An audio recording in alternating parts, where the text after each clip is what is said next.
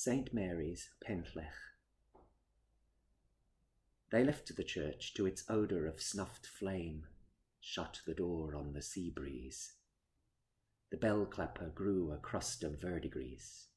Windows and whitewash were flecked with mould, the nave a space for spiders, mice, an imprisoned butterfly. For a long while the spirits had only themselves and the calls of birds in hedgerows dimly heard. Time stagnated, graves grew tangled, and in the summer there were no hymns, but flinty chitters of swallows, no offerings save nests of house martins clustered under gutters, no Eucharist but the sun that touched the sea. Each day, nature prevailed a little over human making. Up here I sit, and the whole Llyn Peninsula might be sleeping, wrapped in its patchwork stitched with hedges, the tilting church turned chalk bright in moonlight.